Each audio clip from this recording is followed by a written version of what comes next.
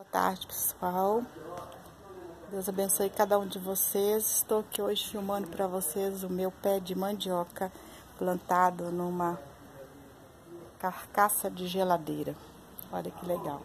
Já já nós estamos colhendo mandioca.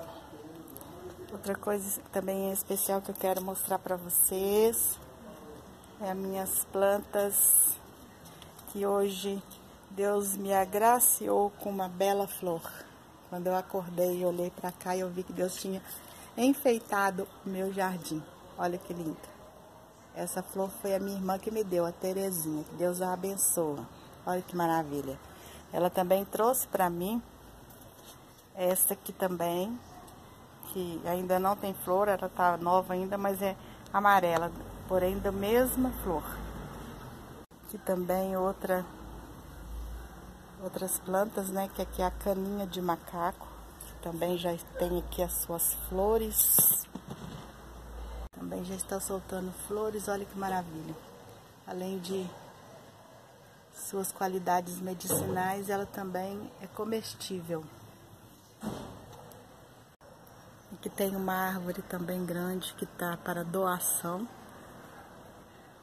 A rolinha vigiando a árvore, que bonitinha voou. É, então essa árvore está para doação. Alguém que tem um terreiro cheio de, de sol, que queira ter uma árvore para dar sombra no seu quintal, tá para doação. Ó. Tá bem alta.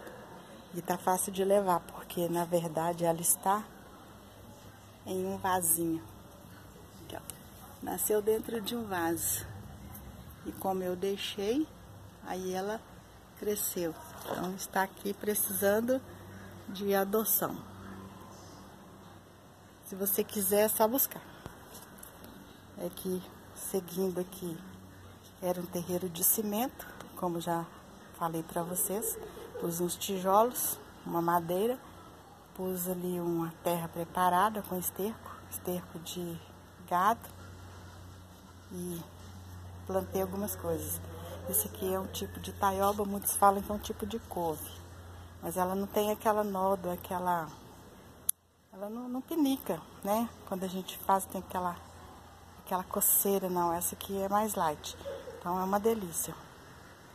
Aqui estão meus pezinhos de couve que eu plantei também no mesmo, no mesmo é, sentido, né?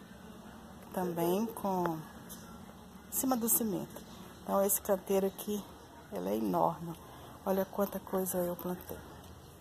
Precisando dar uma limpezinha, que com esses dias de chuva que, que teve para trás aí, é, nasceu muitos matinhos. Então, aqui está, né? Olha que lindo que está tudo isso no mesmo canteiro, ó. Nós estamos chegando ao fim dele. As florzinhas também, ó. Aqui o outro tipo de taioba. E aqui, ó. E o pezinho de manga também que está crescendo no vaso. Essas são plantas em vasos que estão enfeitando, né, aqui o meu ambiente, a minha varanda, olha que linda. Aqui nós temos um pezinho de abacate que estava morrendo, aí eu plantei ele no vaso e estou recuperando, ele está verdinho de novo.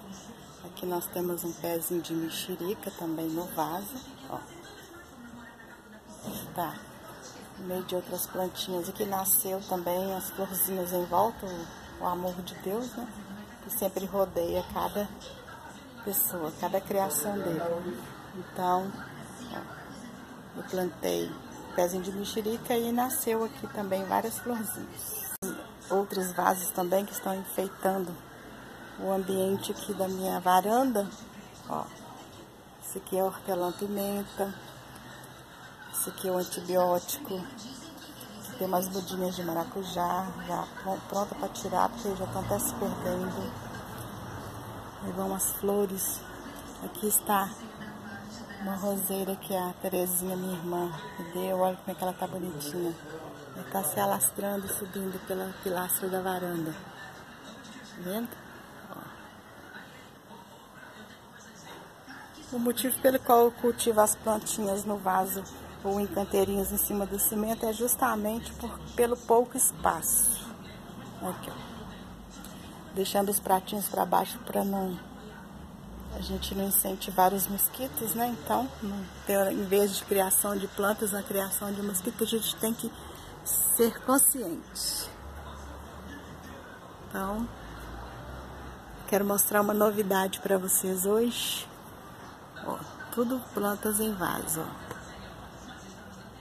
Como que estão enfeitando o meu ambiente. Hoje amanheceu tudo muito florido. Isso é bênção de Deus na nossa vida. Alegra a nossa vida. Ó. Como estão bonitinhos.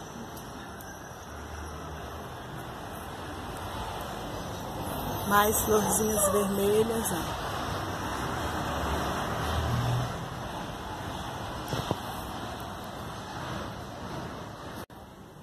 Pé de mamão. Então as florzinhas também embaixo.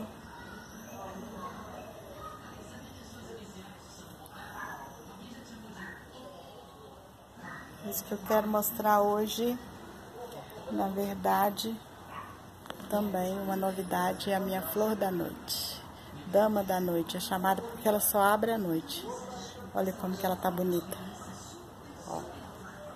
Deus é maravilhoso. É a bênção de Deus, a graça de Deus para nós. Ó. Mais tarde eu vou filmar ela aberta à noite, porque ela só abre à noite. Então vocês aguardem o próximo vídeo, porque eu vou filmar ela abertinha e mostrar para vocês o quanto ela enfeita a nossa noite, sem falar no cheiro maravilhoso que ela tem. Então aguardem. Até lá. Deus abençoe vocês.